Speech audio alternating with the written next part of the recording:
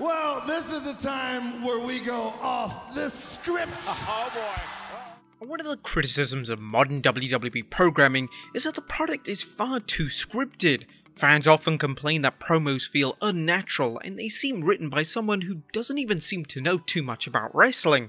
Sports entertainment slash pro wrestling. Where I come That's from. sports entertainment. That's not where you come from. You know, pro wrestling is, you know, what my dad did. After all, most of the greatest promos and segments of all time have elements of unscripted material in them, but now it's rare to see a WWE superstar go off script. It's a rather risky move for them to do, as consequences of doing this can really impact their position on the card or even get them released. Now, there have been a number of occasions where a superstar has gone off script, and as a result, it's made the segment even better. But again, these instances are still rare, particularly as the WWE prefers an overly scripted format for all their main shows. But which were the best off script moments? Well, join us now as Wrestlelamia looks at 10 of the best times WWE superstars went off script. Be sure to subscribe and hit that notification bell for daily wrestling videos and follow us on Facebook for exclusive lists.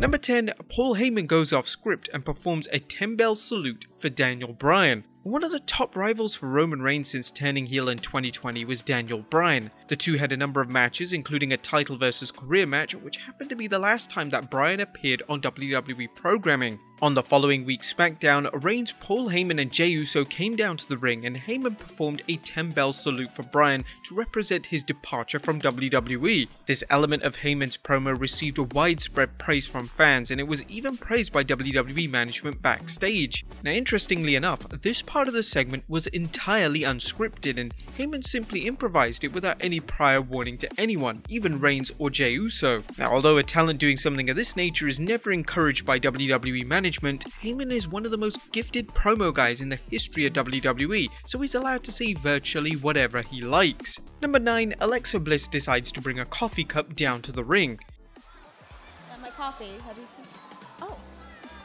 Oh, thank you. In 2019, Alexa Bliss debuted A Moment of Bliss. This was an interview segment designed to keep Bliss away from the ring for a brief period where she recovered from a concussion. One of the key parts of the interview segments was that Bliss would have a coffee cup on her table, and she would even bring the coffee cup down to the ringside area with her whenever she accompanied Nikki Cross for a match. Now, according to Bliss, the inclusion of the coffee cup into her character was 100% unscripted, and she simply believed Vince McMahon would like it. She informed TV Insider that, I knew I was going to be ringside for a match and looked disinterested, so I just brought my coffee with me. It became a thing after that because I just stood ringside drinking my coffee. Nobody really has stood ringside drinking coffee, so I thought when I went backstage, Vince would either like it or fire me. They ended up liking it. Number 8, Ric Flair decides to cut a promo on Randy Orton. Leading up to Randy Orton's WWE title showdown with Drew McIntyre at SummerSlam in 2020, Orton would bring back the beloved legend killer persona. He would take out a number of legends such as The Big Show, Christian, and Shawn Michaels,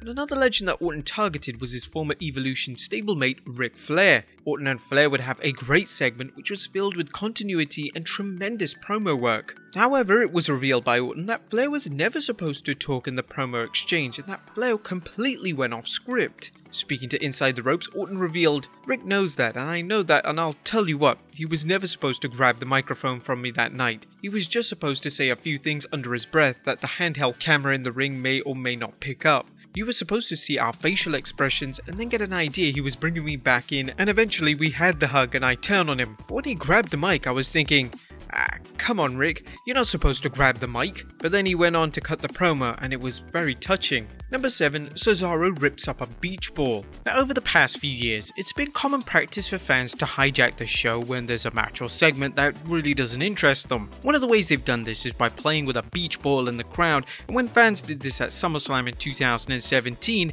this didn't sit well with one particular superstar. Cesaro was in the middle of a match when he was teaming with Sheamus against the duo of Seth Rollins and Dean Ambrose. In the middle of the match, fans began to play with a beach ball, but this led to Cesaro storming into the crowd, grabbing the ball, and tearing it apart. The moment was completely unplanned, and according to Cesaro, he received praise backstage for doing it, as management obviously don't like fans hijacking their show. Number 6, The Rock interacts with a fan dressed as Hulk Hogan. Uh, when The Rock appears on WWE television, he is traditionally allowed free reign to discuss whatever he likes. If he is given a script, he will be given bullet points rather than a full-fledged written script. However, when The Rock appeared on Raw in 2016, he did something that really didn't sit well with Vince McMahon. During his appearance, The Rock would interact with fans dressed as wrestlers at ringside. One of these fans was dressed as the controversial Hulk Hogan. Now, Hogan had been fired from the WWE the year prior after he underwent a racist rant in a leaked video. Now, according to SES Scoops, Vince as well as other key members of WWE management threw a huge tantrum backstage as they knew there was nothing they could do about the situation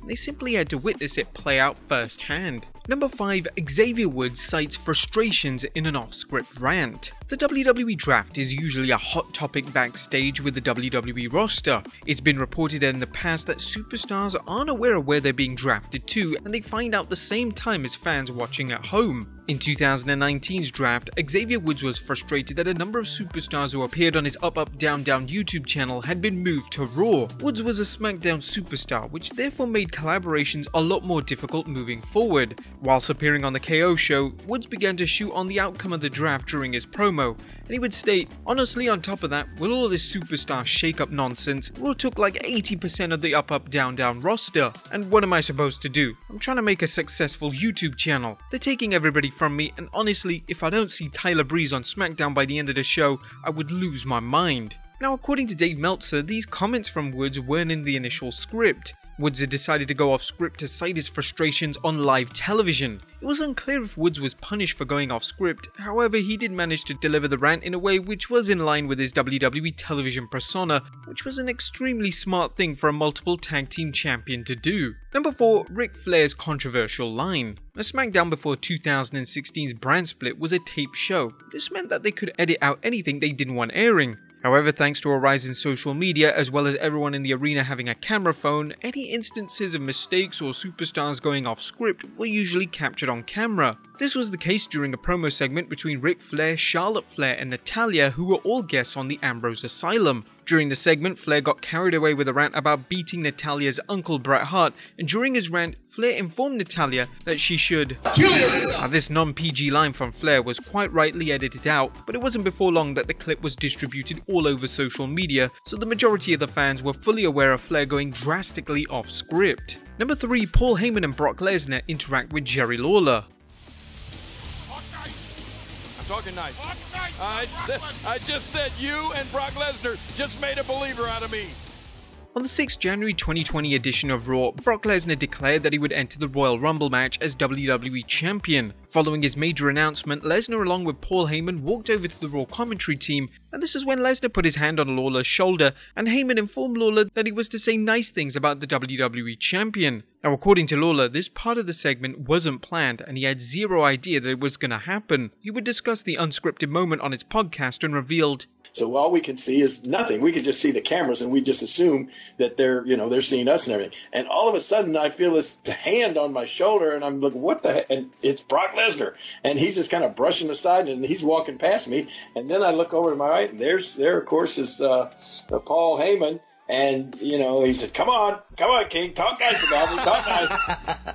and I mean that was just totally off the top of his head, and I had no idea they were going to be there. So I don't. I saw a picture on Twitter that somebody put up, and you could tell from my facial expression that I had no idea that was about to happen. Number two, Dean Ambrose goes off script during his babyface turn in 2019. Dean Ambrose's heel turn in 2018 was a complete disaster. Fans had no desire to see Ambrose as a babyface, and the nature of the storyline that he had with Seth Rollins was rather tasteless, even by WWE standards. To make amends, WWE would turn Ambrose back to a babyface on the road to WrestleMania 35, and to do this, Ambrose would confront Rollins in the ring, and he would inform Rollins to slay the beast. This was a reference to Rollins' upcoming match against Brock Lesnar at WrestleMania 35. However, this line was completely unscripted. According to Dave Meltzer, WWE planned something else entirely, but Ambrose wasn't feeling it, so he simply decided to do his own thing. This was around the time that Ambrose was getting set to leave the WWE, so he felt invincible, and he certainly wasn't going to say something that he didn't feel was a right fit for his character.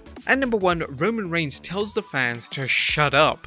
A Roman Reigns during his babyface run was often met with a negative response from fans. It was rather common for Reigns to simply ignore the negative response as he was a top babyface in the WWE and WWE simply didn't want to draw attention to the negativity. However, there was one occasion in 2016 when Reigns just had enough of the crowd being against him and he would fire back at the crowd with a completely unscripted line in his promo. This took place during a promo segment Reigns was having with WWE Champion Dean Ambrose. As during the segment, the crowd began to chant, You can't wrestle at Reigns. This is when Reigns decided to go off script and state, For all the dudes chanting that I can't wrestle, calm down, relax, take a sip of your beer, and shut your mouth. To Reigns' credit, it worked as the crowd toned it down quite dramatically following his outburst, and Reigns and Ambrose were able to continue the promo without being heckled by the fans in attendance. But there you have it folks, 10 of the best times WWE superstars went off script. Be sure to leave your comments down below, and I'll see you next time with some more wrestling content.